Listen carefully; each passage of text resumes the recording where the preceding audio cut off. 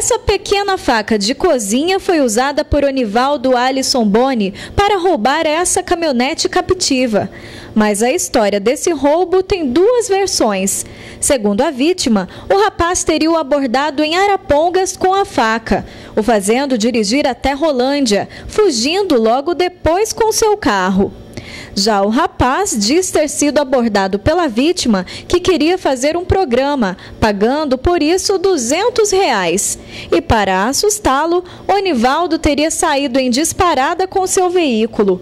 O próprio rapaz falou sobre a história. Não, eu peguei só pra, peguei só para dar um susto nele, não ia levar para nada, cara. Não ia levar para nada. Eu sou trabalhador, não, não gosto disso aí não, cara. Mas mas ele pegou e falou assim pra mim que me dava 200 reais só pra me fazer sexo com ele, cara. E, e eu não. E eu não. Sabe? Não Mas como é que foi? Ele te abordou na rua? Ele me abordou na rua, abordou na rua. Tem, tenho, tenho testemunha, cara. Tenho testemunha que ele abordou, passou, voltou, foi, foi fingiu que ia pra Poracatu, voltou e, e me abordou. Falou se eu não queria fazer sexo com ele. Eu falei assim, ah não. Você já conhecia ele? Já tinha te abordado antes? Já tinha me abordado, já tinha abordado os colegas meus, eu tinha abordado vários, vários, vários colegas meus ali. Você entrou dentro do carro dele? Não, acabei entrando, por isso que eu levei a caminhonete. Você entrou com o intuito de levar a caminhonete? Não, não, não, não entrei com, é, como pode dizer para você, para levar a caminhoneta. Mas ele falou assim, meu, eu queria, ele já foi passando a mão em mim, cara. Eu não falei. Você entrou para ouvir a proposta dele? Não, não, não entrei para ver a proposta dele. Falei assim, eu falei assim, falei que, que ele queria, né, velho? Que ele, que, que ele queria. Falei assim, ah, se pá, não quer. Não quer. Não quer fazer sexo comigo, eu pago tanto para você fazer. Entendeu? Eu não falei assim, ah não, não quero, não quero. Aí ele ficou insistindo e falou assim, ó, me leva embora. Você tentou arrancar dinheiro dele? Não, não tentei nada, nada, nada. Não tentei nada. Até que, até que, até que eu tava com a, com a, com a faca na, na, na, na no bolso, né?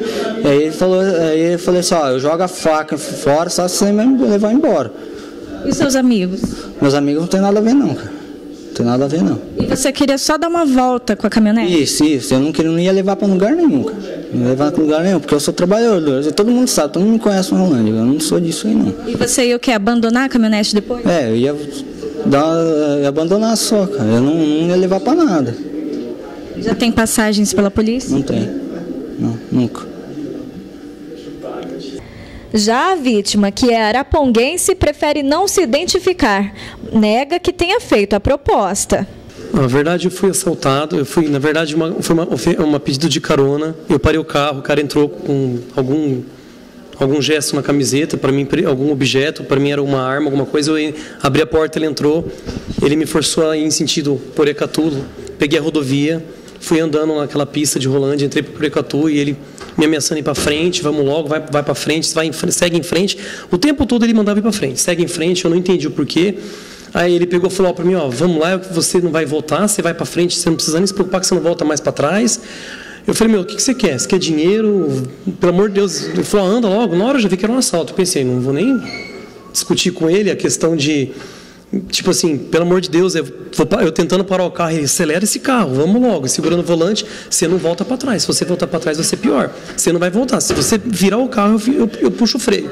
Tudo bem, parei o carro no acostamento com muita conversa, tentei convencer ele a jogar faca. Aí ele, conversando, eu prometi pagar para ele um, um, dinheiro. Ele falou para mim que queria 5 mil reais. Eu falei que eu não tinha esse dinheiro. Aí ele falou para mim, não, eu te... ele falou assim, ah, 1.500, 1.500 eu não abaixo mais. Eu falei, não, tudo bem, cara. Só que nós temos que ir no banco sacar. Que aqui, na minha maleta, eu não tenho dinheiro. Não, você tem? Você falou, eu não tenho dinheiro. Eu falei assim, então mostra. Peguei, abri, mostrei para ele, então o celular. Eu falei, não, espera lá. Aí um, nisso um paciente mandou uma mensagem para mim. Aí ele achou que eu estava mandando alguma coisa pelo bolso. Aí ele quis ver, ele pegou o celular, ele começou a olhar. Eu falei, meu, é um paciente tal, mandando mensagem. Aí ele catou o telefone na mão dele, Aí ele conseguiu pegar o telefone e eu desci do carro. Aí eu parei o carro e falei, ah, eu não vou sair daqui, eu não vou ficar aqui. Desci do carro, eu consegui, o carro parado, eu consegui descer do carro e ele pegou, montou no carro e falou, daqui eu também não sei. Eu falei, vou chamar a polícia então. Ele pode chamar a polícia. Aí ele falou assim, chama a polícia então. Eu falei, vou chamar, só que não tinha ninguém na rodovia. Aí ele não conseguia dirigir meu carro, ele não sabe dirigir o carro. Eu, ah, bom, depois eu vi que ele aprendeu. Eu consegui, aí eu consegui, ele falou, então vamos no banco, você me dá o dinheiro, eu vou embora. Entrei no carro, eu peguei e falei para ele, ele estava com alguma coisa no o tempo todo ele ficava assim, com a mão. Então a história do programa é mentira. Nossa, pelo amor de Deus. Sou casado, sou homem, tenho filhos, nada a ver isso. Versões à parte, a verdade é que o acusado praticou o crime e agora fica à disposição da polícia. O senhor é, abordou uma viatura da Polícia Militar no centro da cidade, afirmando que havia sido vítima de roubo, de que um, um rapaz, é, um rapaz de aparência nova, bem apessoado, havia o abordado na cidade de Arapongas com uma faca, havia o ameaçado e queria extorquir certa quantia em dinheiro da vítima. É, o rapaz aí, segundo a vítima, o fez vir até a cidade de Rolândia, onde ele desceu próximo ao Banco Santander para retirar o dinheiro que estava estava sendo extorquido da, da vítima, quando o rapaz aí estava de posse da chave da caminhonete captiva da, e saiu e levou a, o veículo embora. Como é que foi que os policiais encontraram o rapaz e o veículo?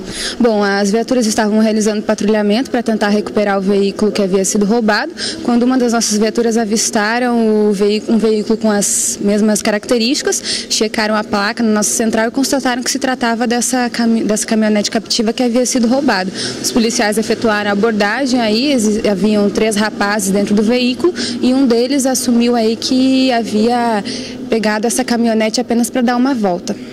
E ainda deu tempo para que o rapaz vendesse o celular da vítima. A polícia encontrou o comprador e Anderson Henrique foi autuado por receptação de produto roubado.